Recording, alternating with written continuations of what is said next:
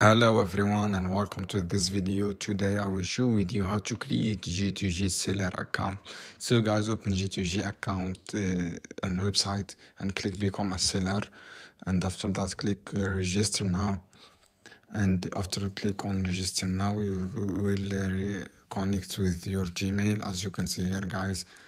Click on logout and click on sign up and click on become a seller and click register. And you can uh, log in with your gmail or facebook or paypal account. Click gmail. After that click your uh, gmail.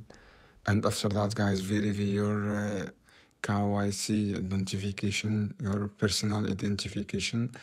And click back and click this uh, information data of your birthday and click your number phone and click your uh, tax uh, register number and click your address billing address and click next. This is how you can do guys. I hope this video helpful for you. Then don't forget to subscribe and like and share this video for more content